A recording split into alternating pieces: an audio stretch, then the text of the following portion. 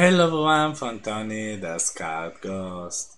Today Ultraleap has released the latest version of the hands tracking runtime, dubbed Gemini. You probably have seen already something from me about Gemini. There was a preview some months ago, but today the runtime has been officially released. So it is possible if you have a Windows PC, have a Ultraleap sensor like this, Stereo 170 or, or the standard Leap Motion controller, you can put it on your headset and try the new Gemini runtime following the link here below in the description. You can try it and you can notice that it is pretty cool. So let me show you my experiments that I've done with it with a Quest and Link. So it's, it's not just the Quest, it's not a standalone mode, it's the Quest connected to PC via the cable and so I tried the Windows runtime. Even if actually Ultraleap has implemented its runtime inside the Qualcomm Snapdragon XR2 uh, chipset. So it's possible to run on a standalone device. For instance the Lynx R1 has shown that it will use the Ultraleap tracking on its standalone headset uh, but I'll try it on Windows PC so let me show you what are the performances of the runtime with the latest also uh, tracking sensor from Ultraleap. Let's try the reliability of the Ultraleap tracking with the new model and the Gemini runtime. So let me put my hands in the field of view, they immediately initialize.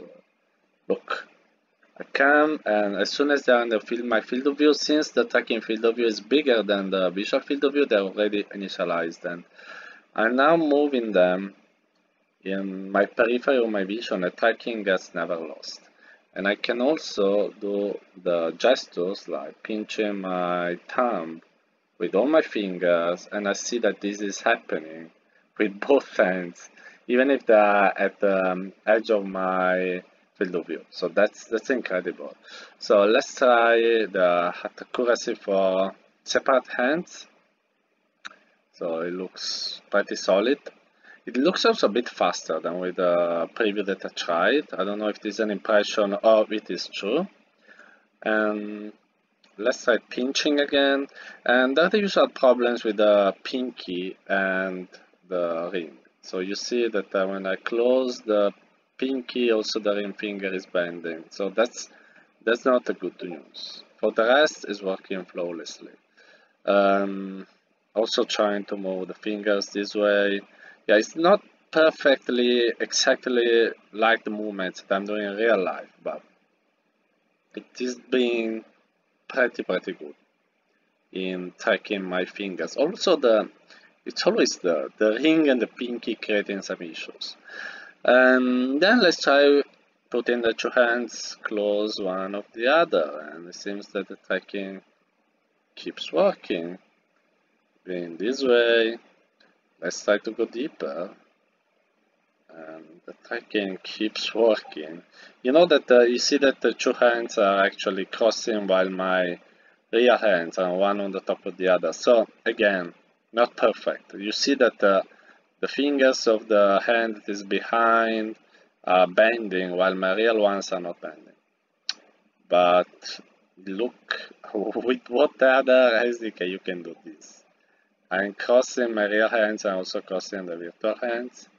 I also can do this and the tracking keeps working. I can do also on the back. I can put one hand on top of the other. Of course, if I close it completely, the tracking gets lost, but then it recovers automatically as soon as the hand is seen again. So it's, it's kind of impressive how I can do this. I can also like create a chain with uh, the thumbs and the index fingers on my two hands. That's something kind of impressive. And also, what I love is the also with movement works well. So look this, I'm moving the, my hands pretty fast. And since they're the same color, then never, the tracking never gets lost. It's like I can make a fitness game without using the the controllers and it's working. With the, with the punch, sometimes the tracking gets lost. I guess because it's more difficult to to to keep, you know, the, um, the shape of the punch is just around. It's more difficult to track.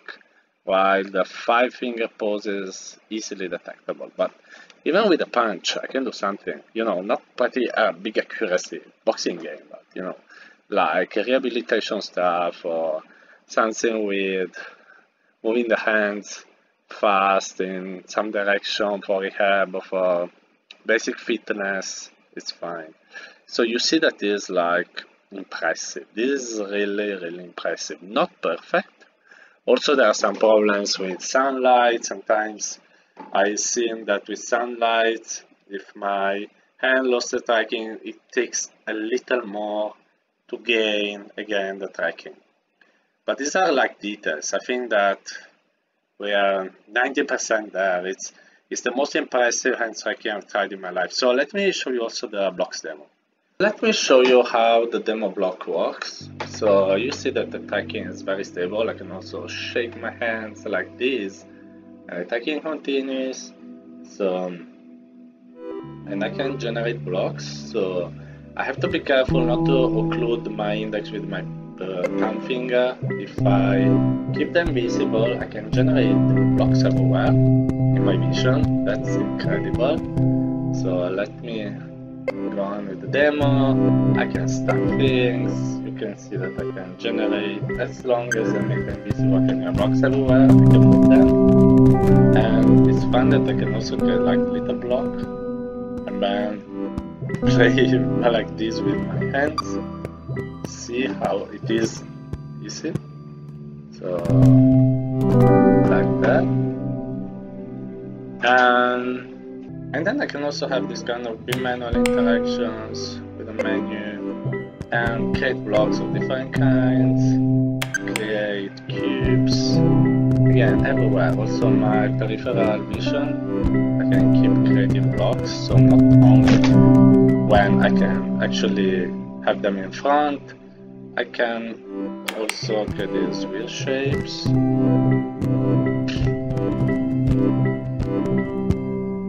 And I can set things and have another kind of hands like this one. They are more realistic. So you see that demo is incredibly stable much more than the last time I tried it it's really I don't even have to think about stuff I just do whatever I want and things work as I expect them to work it's it's incredible it's super usable like the most usable version of blocks I have tried in my life. This is surely the best tracking demo I've tried until now. So this is impressive. Also with the other demos now, I don't want to make this video too long, but even in this scenario, uh, all, even with all the other demos, had similar results. So impressive tracking, great usability. This is the Ultraleap launcher. You see super smooth hand tracking that I showed you before and I can open a menu to which I can access, I can move it very easily, and to which it I can access all the Ultraleap demos, uh, some media, so look how it is easy to use it through my hand, so I can select any kind of media about Ultraleap and see it, and I use just my hands to interact with it like it was like a, a touch screen in VR, that's, that's amazing really. And I can return back, it's super easy to be used. I don't have to understand anything. I can I could launch one of these demos, but uh, I don't want to make you bored by seeing another demos about uh, Ultraleap tracking. And then here are some settings like hand tracking. I can put the mesh hands. I have these more realistic hands now. There is this fake uh, Wi-Fi thing. So let me just move it, uh, it here uh, it's all fake, they are not uh, Wi-Fi, it's just to showcase this cool keyboard. So look that it, uh, it highlights where I have to press the buttons and I can show you here that it was works flawlessly. R E O and I can cancel everything and say Tony T O N Y space S K A A R R E D. So G H O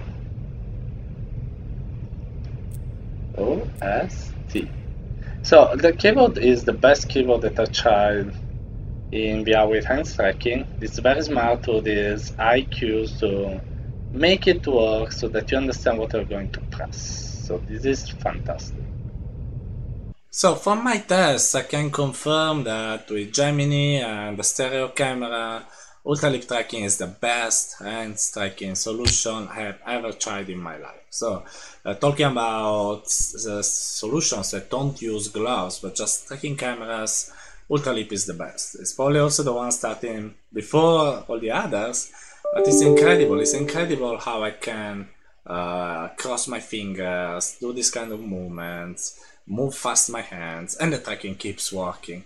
It is not perfect. There are sometimes I've just seen some slight misdetections. The sunlight still creates some problems. Blah blah blah. But these are minor issues. I say that really 90% of the job is done incredibly well. It is almost perfect in the sense there's a 10% of tiny details, complicated situation is to be solved. But really, I'm impressed of the tracking on the device. Also impressed by their work with uh, hands tracking UX. So for instance, the keyboard. I love the keyboard because for the first time using the hands, I could really understand where I was typing and so I could type safely just using my hands. It is still a bit slow, so when I touch type, I'm like this, and uh, I was like, when I was probably a teenager, I couldn't touch type, I was typing like this on the keyboard of my PC, and it's coming back and becoming 20 years younger, so that's a nice experience, but uh, still to be improved. Of course, we need touch typing also in VR, but as um, haptic-less keyboard. I think it's one of the best that I've tried as well. So very, very good solution also on a UX standpoint with the new launcher, etc., etc. So kudos to Ultraleap for all the job that I've done. Of course, I invite you again to check out Ultraleap website, following the link here below and try by yourself the new runtime and verify in VR how it is cool. I also have to thank Ultraleap, so I compliment them for what they're doing, but also thank them because they are very kind people always. They also gave me this cool t-shirt, so thanks Ultraleap people. They have not asked anything in change, so this is not a video paid by a t-shirt.